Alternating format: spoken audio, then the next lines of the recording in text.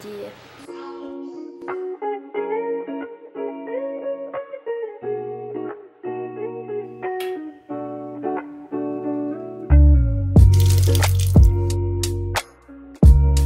Oi pessoal, como vocês estão? Eu estou trazendo mais um de vlog para vocês. O dia que eu gravei esse vídeo era uma terça-feira, dia 9 de fevereiro. Essa foi a minha última semana de EAD, mas eu vou explicar daqui a pouco isso para vocês, tudo bem detalhado. Bom, as minhas aulas começam às 7h30, então eu acordo geralmente às 6 horas para conseguir dar tempo de fazer tudo. Nem sempre acontece isso, porque às vezes eu acordo em cima da hora, quando eu olho pro relógio, a aula já tem começado e enfim, coisas de estudante em AD, não é mesmo? Mas uma dica muito boa para vocês ficarem acordados durante a aula é assim que acordar, lavar o rosto, tomar um banho, tomar um café. Nesse dia eu até lavei o cabelo. E esse foi um dos motivos que eu tive que acordar mais cedo, é porque eu fui lavar o cabelo e também tô gravando para vocês, então isso demanda um pouco mais do meu tempo. Eu tô narrando esse vídeo para vocês numa sexta-feira, dia 12, e ontem, na quinta-feira, eu tive a minha reunião do colégio, onde explicou tudo sobre o ensino híbrido. E eu tô muito feliz, eu tô muito animada, porque depois de tanto tempo em EAD, eu vou conseguir finalmente ir pro colégio de novo. E nesse primeiro momento, poucos alunos colocaram a opção de presencial também. Então, não vai precisar acontecer o rodízio, ou seja, nessas primeiras semanas, todos os dias eu vou conseguir ir para o colégio. Mas lógico que a escola deu a livre escolha para todos os alunos, se você quer online, se você quer presencial, então vai ficar bem tranquilo. Gente, essas anotações que eu tô mostrando para vocês é uma coisa muito importante que eu quero falar. Vocês que estão entrando agora no ensino médio, uma dica que com certeza dou para vocês é para que vocês guardem todas as suas anotações do primeiro e segundo ano, porque vocês vão usar com certeza depois. Gente, eu não tô entendendo nada. O que é isso? Meu Deus. Eu tenho tanta coisa para falar com vocês que eu não sei se vai caber tudo nesse vídeo, mas bora lá.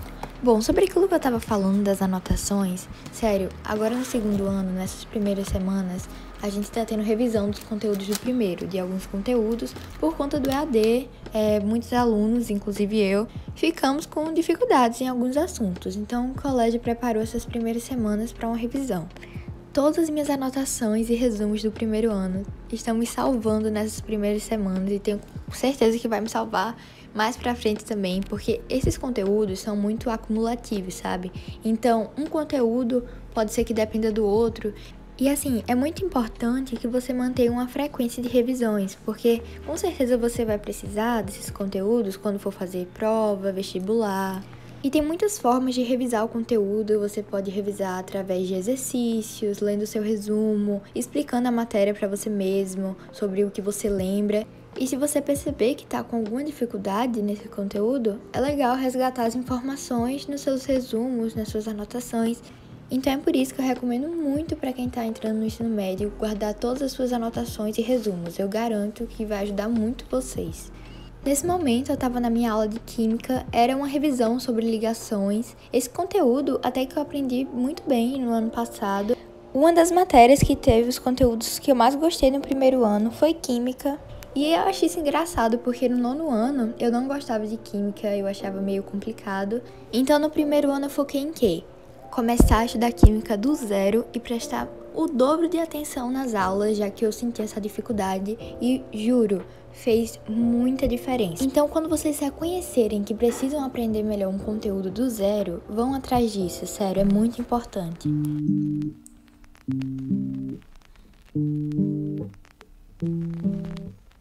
I'm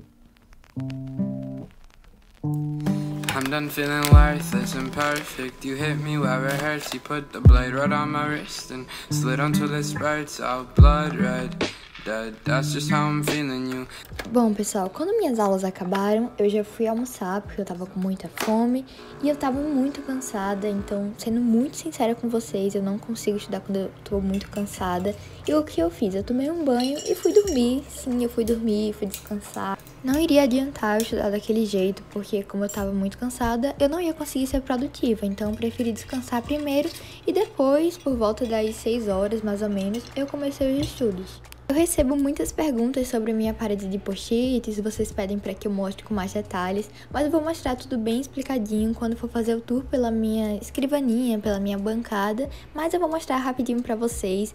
Eu basicamente coloco post-its com fórmulas, informações que eu preciso ficar lembrando constantemente. O meu cronograma de estudos, eu mostrei com bastante detalhes lá no meu Instagram de estudos, para quem não sabe, eu tenho um Estudigram, foi lá onde eu comecei todo o meu trabalho. Então, se vocês ainda não conhecem a minha conta por lá, já aproveita para conhecer, para seguir. Lá eu consigo postar muitos conteúdos para vocês e mostra minha rotina diária. E eu também coloco essa grade de horários das aulas e mais alguns post-its. Eu sempre falo para vocês que eu sempre começo os estudos me planejando e dessa vez não foi diferente. Eu comecei anotando tudo que eu precisava fazer, tudo que tinha acumulado, porque Sim, gente, em duas semanas eu já consegui acumular coisa, meu Deus. Mas enfim, se vocês quiserem saber tudo sobre a minha organização, como eu organizo meu planner, cada caderno, tem tudo explicado no vídeo anterior, onde eu organizo meus materiais. E antes que vocês me perguntem esse bloquinho, eu comprei quando eu fui para Recife, eu comprei no atacado dos presentes e ele é bem simples, vocês podem anotar em qualquer bloquinho, em qualquer post-it, no caderno mesmo, uma listinha sobre o que vocês precisam fazer naquele dia, porque fica muito mais simples na hora de vocês estudarem e vocês acabam sendo mais produtivos a partir do momento que vocês estabelecem metas. Eu já comentei bastante sobre isso com vocês.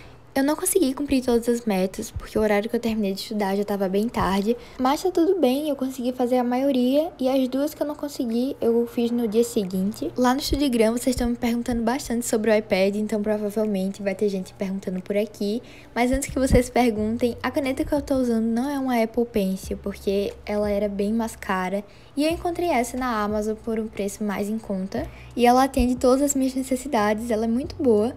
Se vocês quiserem, eu posso fazer um vídeo explicando melhor sobre o iPad e como eu estou usando ele para os estudos. Eu já adianto que esse aplicativo que eu estou usando, ele é muito bom, comecei a usar ele recentemente, o nome é Good Notes. Infelizmente ele é pago, mas em compensação você só paga uma única vez.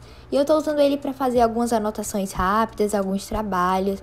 Esse, por exemplo, era um trabalho de história sobre Grécia. E no dia que eu estava gravando esse vídeo, eu tinha que fazer um trabalho sobre Roma. Então usei o iPad para isso e foi muito bom, é bem simples e eu posso trazer esse vídeo para vocês se vocês quiserem. Eu sei que muita gente, principalmente estudantes, têm dúvida entre o que comprar, um computador ou um tablet, mas eu não posso falar qual é o melhor para você, porque eu não sei quais são as suas necessidades.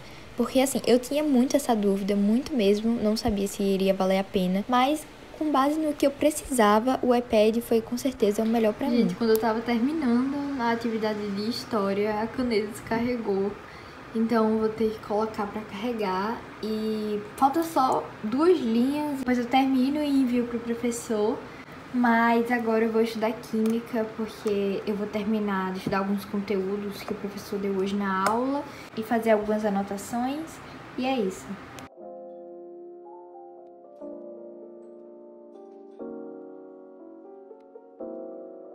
Já comentei com vocês lá no Instagram várias vezes e aqui no YouTube no último Studio Vlog, que na verdade esse é o segundo Studio Vlog, então no primeiro Studio Vlog eu já comentei sobre isso com vocês. Mas a plataforma de estudos que eu uso é a Sala do Saber.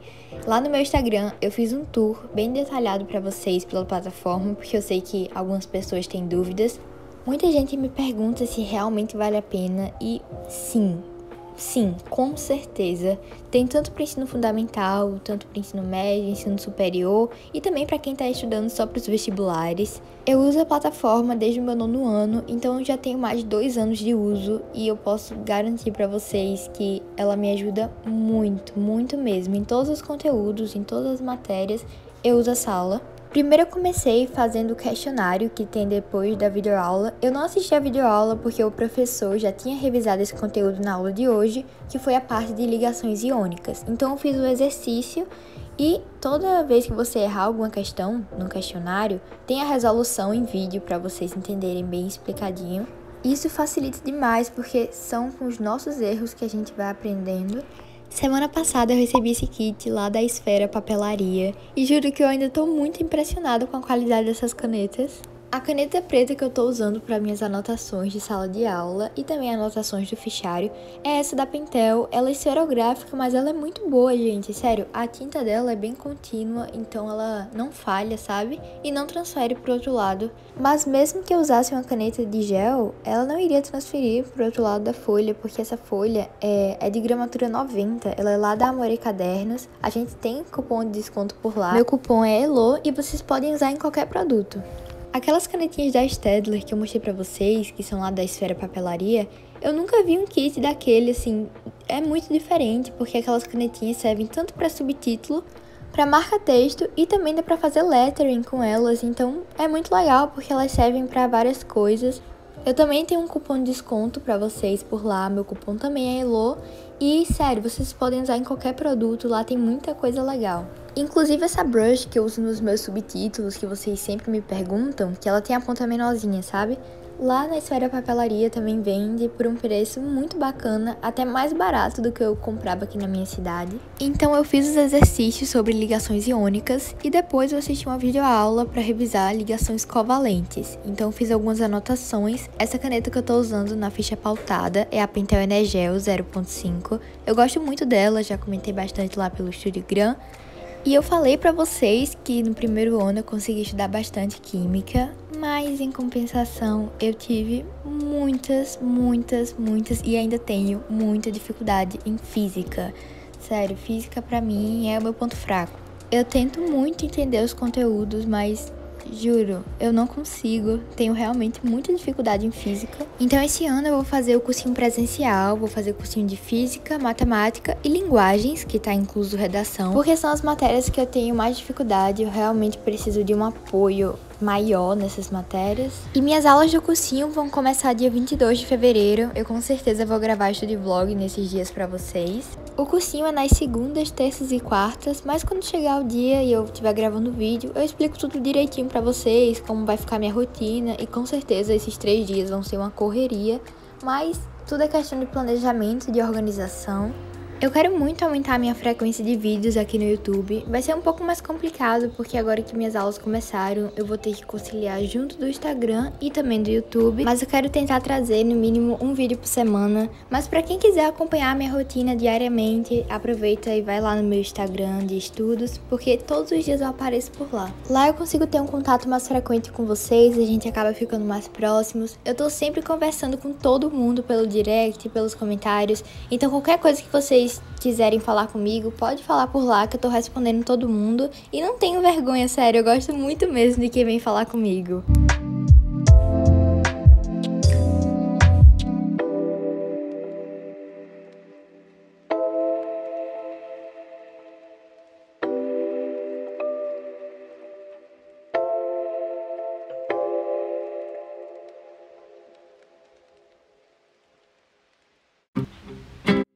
Bom, pessoal, e para finalizar os estudos desse dia, eu consegui terminar a atividade de Roma Antiga, enviei para o meu professor através da plataforma do Teams, e depois eu já fui deixar minhas coisas todas organizadas para o dia seguinte. Isso é muito bom porque caso eu acorde atrasada, ou até mesmo para facilitar de manhã cedo, quando eu acordo já está tudo organizado, então é só ligar a aula e fica mais simples. E foi isso, gente. Eu espero muito mesmo que vocês tenham gostado do vídeo. Não esqueçam de deixar aqui nos comentários falando o que vocês acharam, se vocês gostam desse estilo de estudo vlog. A opinião de vocês é muito importante. Se você é novo aqui no canal, já aproveita para se inscrever, porque vai vir muita coisa legal por aí, inclusive o vlog do meu primeiro dia de aula presencial. Mas foi isso, gente, e até a próxima.